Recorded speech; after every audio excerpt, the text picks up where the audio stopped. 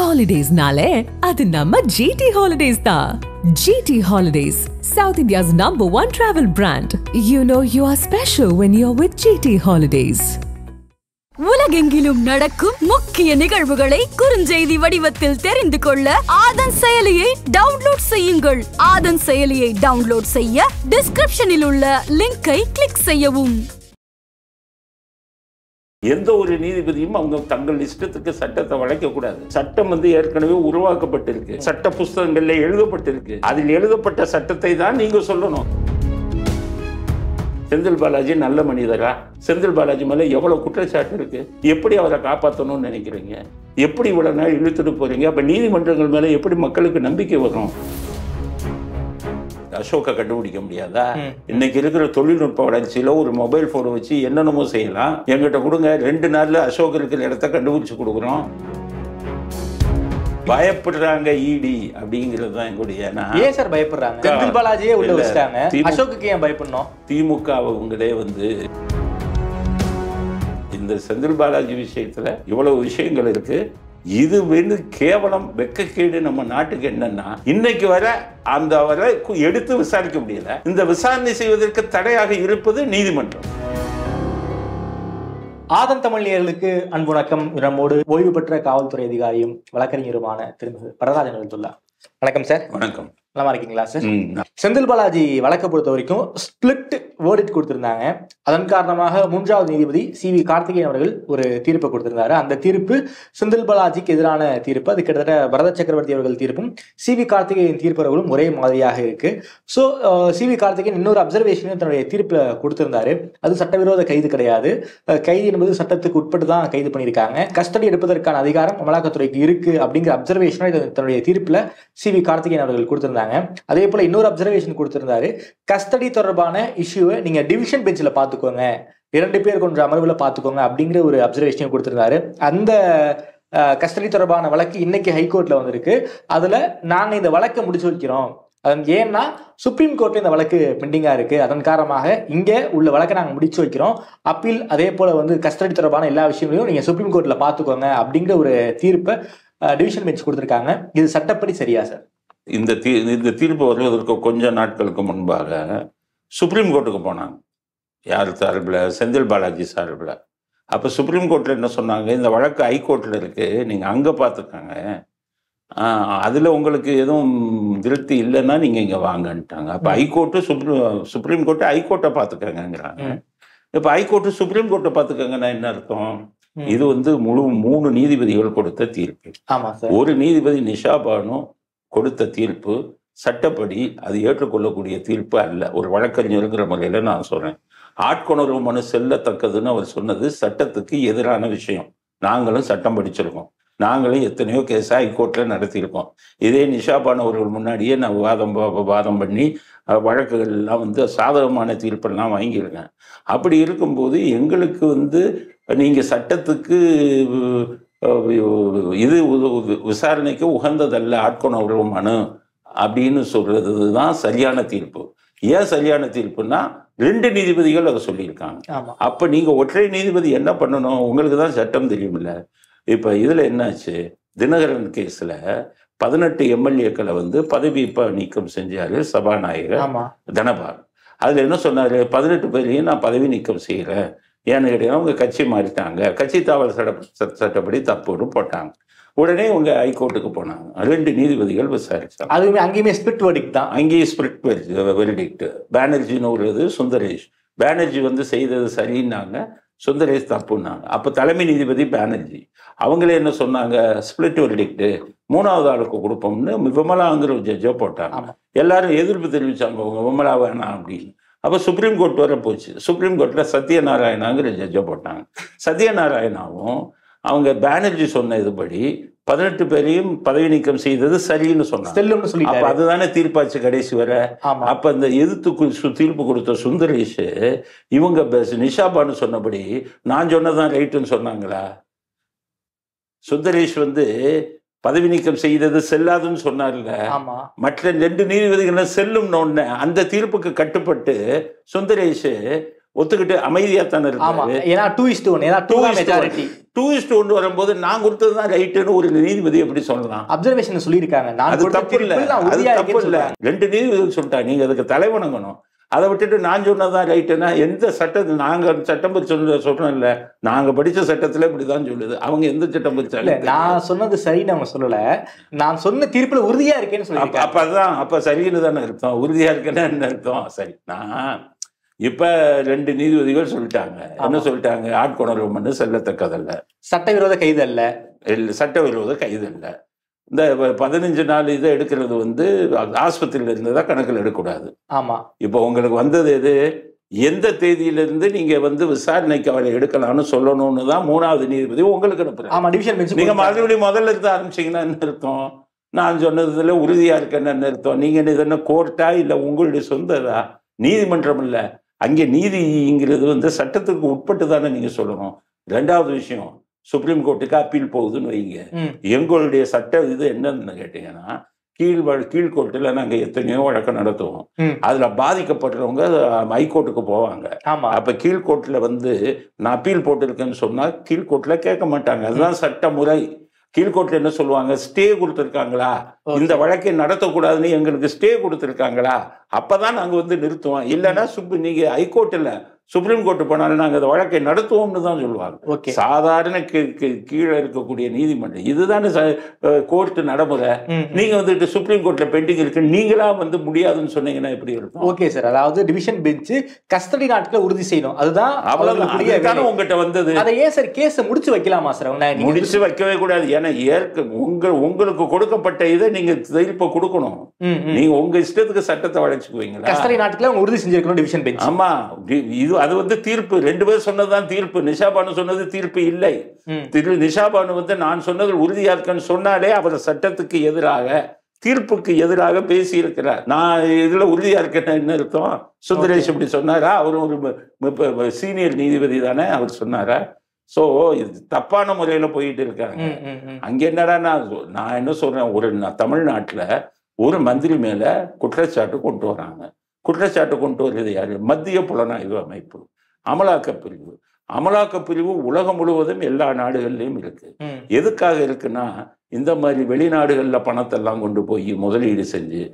இந்திய நாட்டு பொருளாதாரமே பாதிக்கப்படும். அதனால வெளிநாடு முதலீடுகள் எல்லாம் கண்காணிப்பதற்குத்தான் இந்த அமலாக்கத்துறை. இவர் வந்து வெளிநாட்டுல முதலீடு பண்ணதுக்கு ஆதாரத்தோட அவங்க கைது பண்ண வராங்க நீதிமன்றமே அவங்களை இந்த ஒரு மாசம் ரெண்டு மாசமா கைது பண்ண விடாம பண்ணிக்கிட்டு இருந்தா என்ன அர்த்தம்? அப்ப நீதித்துறை மேலேயும் நீதிமன்றங்கள் மேலேயும் மக்களுக்கு எப்படி ஒரு மரியாதை வரும். இப்படித்தானா? இத்தனை இவ்வளவு இவ்வளவு கஷ்டப்படுறாங்க. அவங்க என்ன சொன்னாங்க? போய் கேள்வி கேட்டாங்க. அமலாக்க பிரிவுக்கு ஒரு பதில் சொல்லல. பதில் சொல்லலைன்னா அவங்க கைது பண்ணி விசாரிப்பாங்க. கைது பண்ணி விசாரிக்க கூடாதுன்னா என்ன அர்த்தம்? கைதே பண்ணக்கூடாதுன்னா என்ன அர்த்தம்? நீதிமன்றங்கள் உங்கள் உங்களுடைய இது இது ஜனநாயக நாடுங்க நடப்பது மக்களாட்சி எந்த ஒரு நீதிபதியும் அவங்க தங்கள் இஷ்டத்துக்கு சட்டத்தை வளைக்க கூடாது.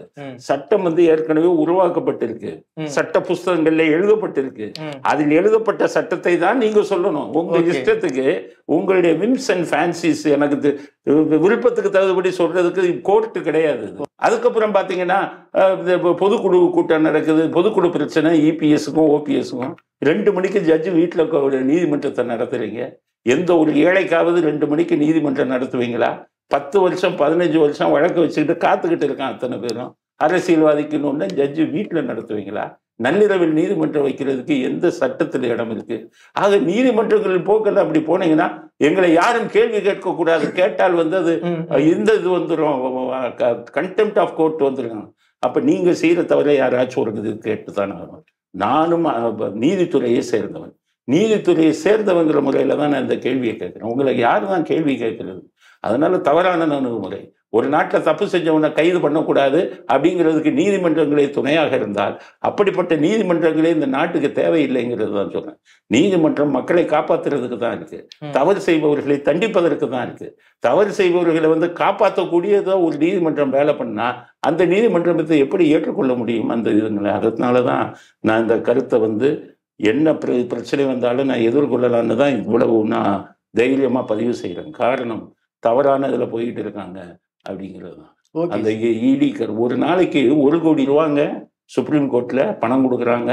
இங்கேயே இருபத்தஞ்சு லட்சம் ரூபா கபில் சிபலுக்கு ஒரு நாளைக்கு இவ்வளவு பணத்தை ஒரு ஒருத்தரை கைது பண்றதுக்கு இடி வந்து எவ்வளவு செலவாகும் தெரியுமா? ஒரு குற்றத்தை செஞ்சு அவரை கைது பண்றதுக்கு இவ்வளவு பணத்தை செலவு பண்ணி தான் இந்த நாட்டில் அவரை கைது பண்ண முடியுமா? இதுக்கு நீதிமன்றங்களே நீங்க தடையா இருப்பீங்களா? செந்தில் பாலாஜி நல்ல மனிதரா? செந்தில் பாலாஜி மேலே எவ்வளவு குற்றச்சாட்டு இருக்கு? ஏற்கனவே நூறு பேத்துக்கு வேலை வாங்கி கொடுக்குறேன்னு மோசடி பண்ணவர் தானே. அதில் சுப்ரீம் கோர்ட்டு அவர் மேலே நடவடிக்கை எடுக்குன்னு சொல்லி அது வழக்கு நடந்துக்கிட்டு இருக்குல்ல. அப்படிப்பட்ட ஒரு மனிதருக்கு நீங்கள் என்ன பாதுகாவலர்களா?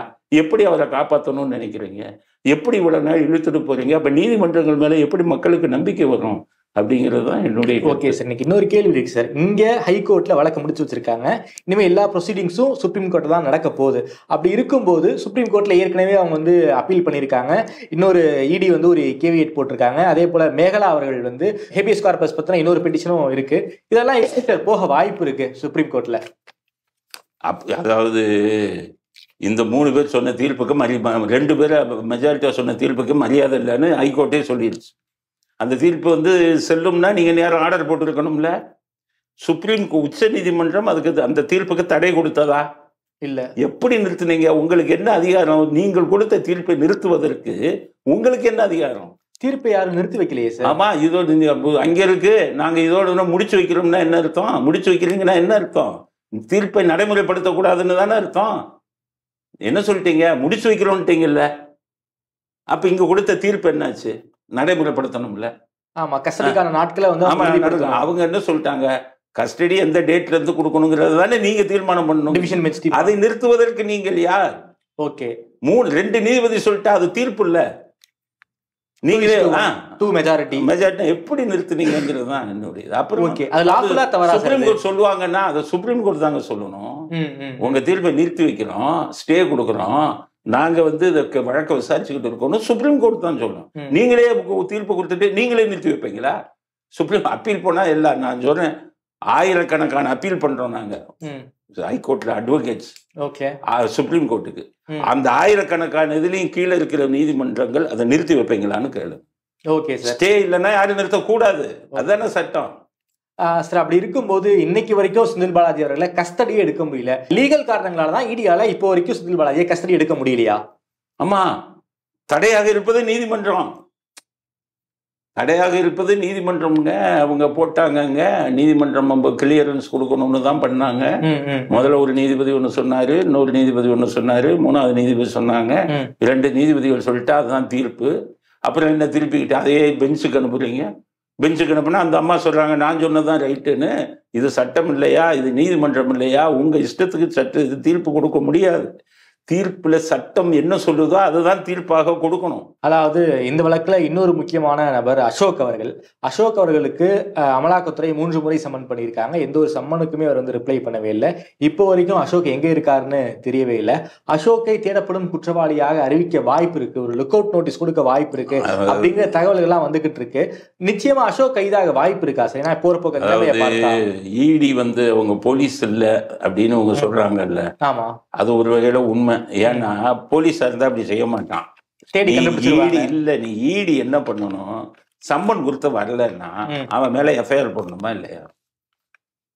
சம்மன் ஒருத்தன் கொடுத்து வரலன்னா. சம்மன் கொடுத்து வராததே ஒரு குற்றம். அதுக்கு தனி செக்ஷன் இருக்கு. அப்படியா சார்? ஆமா தனி- சிஆர்பிசில இருக்கா? ஆமா. இது அதுலயே இருக்கு. சரி. வரலன்னா அது என்ன அஃபென்ஸுங்கிறதே இருக்கு. ஓகே. நீங்க சம்மன் கொடுத்தா நீங்க வரல. உடனே எஃப்ஐஆர் போடுங்க.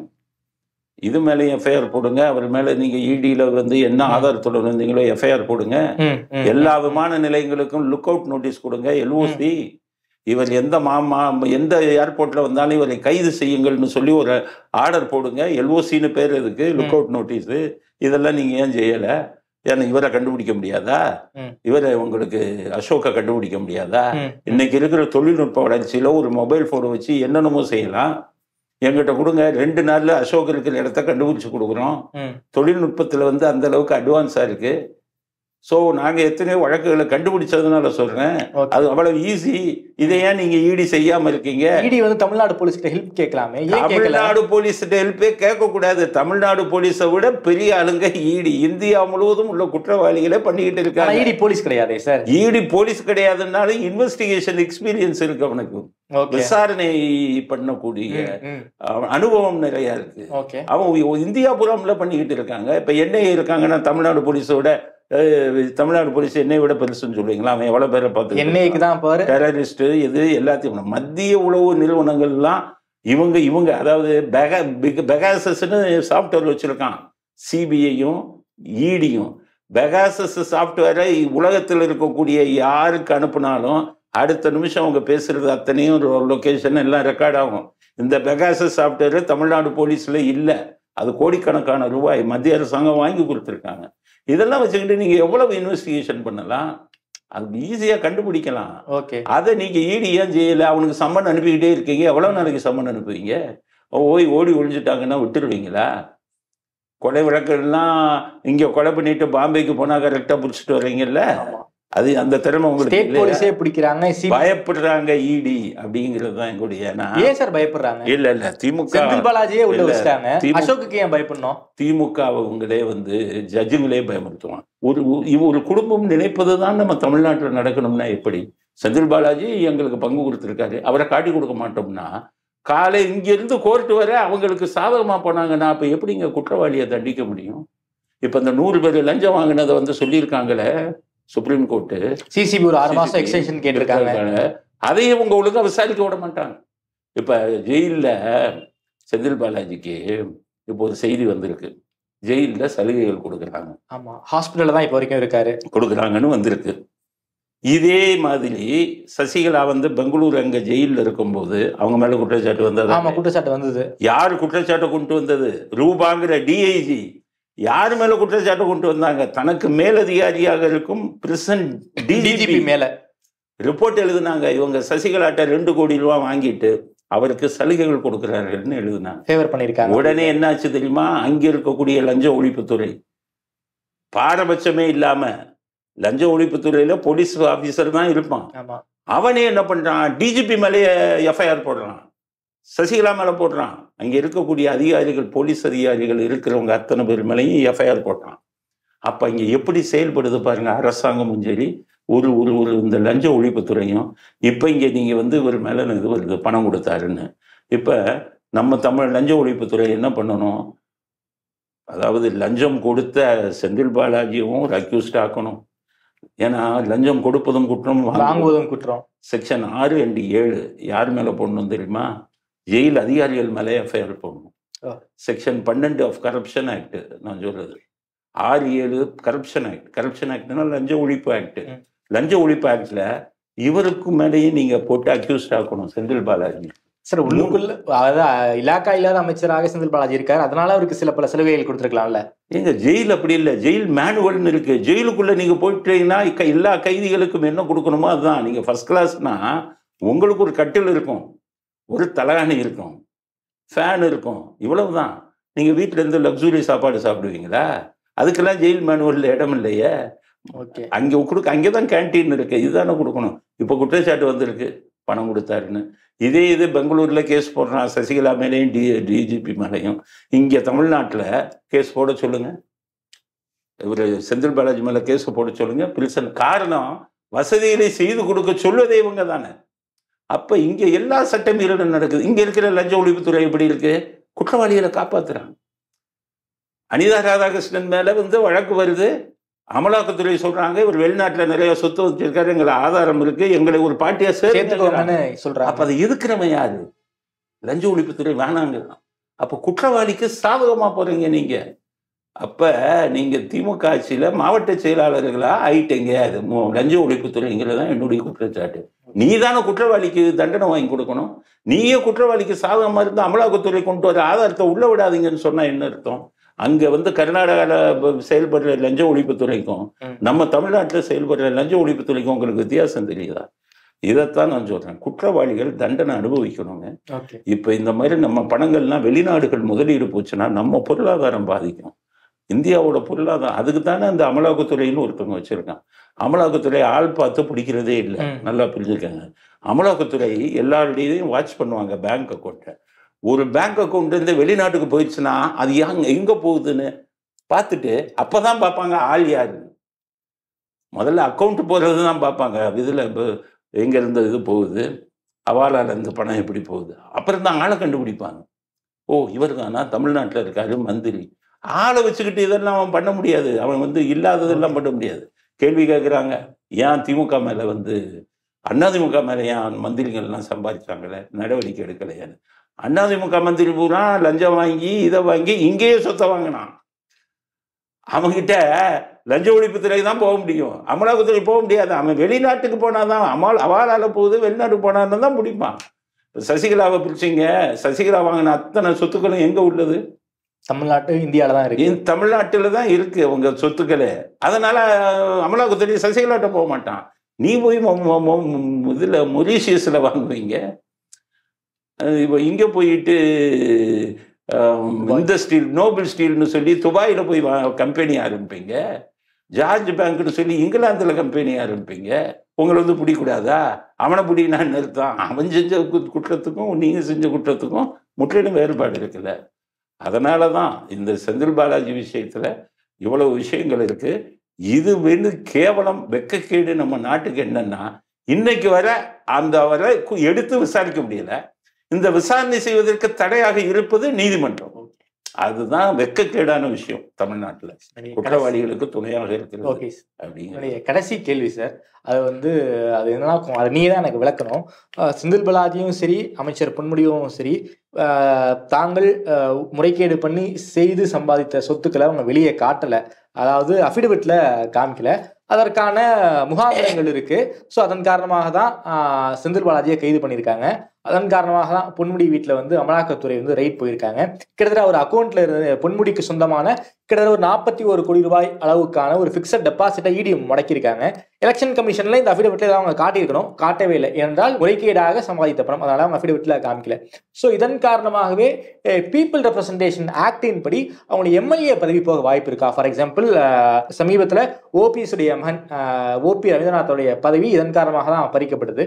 அதே போல பொன்முடி பதவியோ அல்லது செந்தில் பாலாஜியோட எம்எல்ஏ பதவியோ பறிபோவதற்கு எதுவும் வாய்ப்பு இருக்கா சார்? அதாவது எலெக்ஷன் அஃபிடவிட்னு பேர். நீங்க எலெக்ஷன்ல நிற்கிற எல்லாருமே சத்தியப்பிரமாண வாக்கு மூலம் உங்களுக்கு சொத்து எவ்வளவு இருக்குன்னு கொடுக்கணும். ஆமா. எல்லாரும் கொடுக்குறாங்க. ஸ்டாலின் எட்டு கோடி தான் சொத்துன்னு கொடுக்குறாரு. அவருக்கும் அவர் மனைவிக்கும் சேர்த்து. ஆனால் அவர் இருக்கும் பங்களா எல்லாம் நூற்று நூறு கோடிக்கு மேலே செனட் ஆஃப் ரோடு வேலைச்சேரி இதை கேள்வி கேட்பதற்கு இந்த நாட்டில் யாரும் இல்லை. ஆனால் என்னன்னு கேட்டிங்கன்னா ஜெயலலிதா வந்து போயஸ் கார்டனை ஆயிரத்தி தொள்ளாயிரத்தி எழுபத்தி ஒன்றில் கிரகப்பிரவேசம் பண்ணாங்க. அதை இன்னைக்கு அட்டாச் பண்ணிட்டாங்க. அளவுக்கு அதிகமாக சொத்து சேர்த்த வழக்கு. ஆக அளவுக்கு அதிகமாக சொத்து சேர்த்த வழக்குன்னு போயஸ் கார்டன் அட்டாச் பண்ணுற அந்த நாட்டில் இவர்கள் எட்டு கோடின்னு கொடுக்குறாங்க ஸ்டாலினுக்கு எட்டு கோடி தான் சொத்தா? நான் காமிக்க உங்களுக்கு? ஸ்டாலினுக்கு எங்கெங்க சொத்து வச்சிருக்காருன்னு? Election கமிஷனில் affidavit போட்டானே. எலெக்ஷனுக்கு போட்டாங்களே? எலெக்ஷன் கமிஷன் ஏதாச்சும் நடவடிக்கை எடுத்தாங்களா? இவர் கனிமொழி என்ன கொடுக்குறாங்க தெரியுமா? இருபத்தி ஏழு கோடின்னு கொடுக்குறாங்க. கனிமொழிக்கு வந்து உங்களுக்கு சிங்கப்பூர்லலாம் அவ்வளவு தொழில் இருக்குது கனிமொழி சாராய தொழிற்சாலையே வச்சு நடத்துகிறாங்கங்கிற குற்றச்சாட்டு இருக்குது இருபத்தி ஏழு கோடி. ஒவ்வொரு பொன்முடி. அவரும் இருபது இருபத்தஞ்சு கோடியோ முப்பது கோடியோ காமிக்கிறாரு பொன்முடி. பொன்முடிக்கு இப்போ போய் பார்த்தீங்கன்னா இதுலேயே நம்ம இந்தோனேஷியாவில் கம்பெனி ஒரு பையனுக்கு இருக்குது ஸோ அவர் பையனை நாற்பத்தெட்டு கோடி காமிக்கிறாரு. இப்போ அமலாக்கத்துறை சொல்கிறாங்க நூறு கோடிக்கு அந்த கம்பெனியை இந்தோனேஷியாவில் ரெண்டாயிரத்தி இருபத்தி ரெண்டில் விற்றாருங்கிறாங்க நம்ம உதயநிதி ஸ்டாலின் என்ன கொடுத்துருக்காரு? இருபத்தேழு கோடின்னு கொடுத்துருக்காரு. அவர் எத்தனை ஆயிரம் கோடியை கையில் வச்சுக்கிட்டு புரட்டிக்கிட்டு இருக்காங்க? லைக்கா ப்ரொடக்ஷன்ஸ்லேருந்து இவங்க ரெட் ஸோ இவங்க அஃபிடவிட் கொடுக்கும்போது எட்டு கோடி பத்து கோடின்னு கொடுக்குறாங்க இந்த எலெக்ஷன் கமிஷன் இதை பார்க்க மாட்டீங்களா? உங்களுடைய பீப்புள் ரெப்ரசன்டேட்டிவ் ஆக்டில் நூற்றி இருபத்தி அஞ்சு செக்ஷன் நூற்றி இருபத்தஞ்சு ஏழு என்ன சொல்லுதுன்னா அதாவது எலெக்ஷன் கமிஷனுக்கு சொத்துக்களை குறைவாக கொடுத்தால் அது ஒரு குற்றம். அதுக்கு ஆறு மாதம் ஜெயில் தண்டனைன்னு இருக்குல்ல. இத்தனை தப்பாக கொடுத்த அரசியல்வாதிகளில் எத்தனை பேரை நூற்றி இருபத்தஞ்சியை போட்டு நீங்கள் அரெஸ்ட் பண்ணீங்க? அவர் ஓபிஎஸ் பையன் இருக்கார் ரவீந்திரநாத். அவர் வந்து அஃபிடவிட்டில் குறைச்சி சொத்தை காமிச்சாருன்னா அவர் மேலே வழக்கு போடுறீங்க. போட்டது யார்? திமுக ஆளுங்க. போட்டு அவரை பதவி நீக்கம் செஞ்சீங்கன்னா உங்களில் ஒருத்தர் கூட பதவியில் இருந்திருக்க முடியாத அதே அதே இதை யூஸ் பண்ணீங்கன்னா அப்போ ஓபிஎஸ் ரவீந்திரநாத்துக்கு மட்டும் ஒரு சட்டம் திமுகவில் இருக்கக்கூடிய அத்தனை எமக்கு ஸ்டாலின் உதயநிதி ஸ்டாலின் இவங்க எல்லாத்துக்கும் ஒரு சட்டமா? அதனால எலெக்ஷன் கமிஷனுக்கு நான் என்ன சொல்றேன்னா நூத்தி இருபத்தஞ்சு ம். அஃபிடவிட்ல யார் யார் குறைவான சொத்துக்களை கொடுத்தாங்களோ. இப்ப அமலாக்கத்துறை இதில் கிடைச்ச ஆதாரத்தை வச்சு. அவளை பத்தி நீங்க உதயநிதி ஸ்டாலின் டிஸ்குவாலிஃபிகேஷன் பண்ணணும்ல நீங்க தான் நோபல் ஸ்டீல் பிரைவேட் லிமிடெடோடைய டைரக்டர் ஆச்சே துபாயில் இருக்கிறது எல்லாம் பொய் கணக்கு கொடுத்துருக்கீங்கல்ல ஆக நமது இந்தியால எந்த ஒரு துறையும் இ- இதா செயல்படல. லஞ்சத்தை ஒழிப்பதற்கு எதிராக சரியாக செயல்படவில்லை. எலெக்ஷன் கமிஷனும் இப்படிதான் பண்ணிக்கிட்டு இருக்காங்க. அப்படிங்கிறது தான் என்னுடைய கருத்து. ஓகே சார் ரொம்ப நன்றி சார் செந்தில் பாலாஜி தீர்ப்பு பத்தின உங்களுடைய பார்வையில ரொம்ப விரிவாக பேசியிருக்கீங்க. நேரம் கொடுத்து பேசினதுக்கு ரொம்ப நன்றி. நன்றி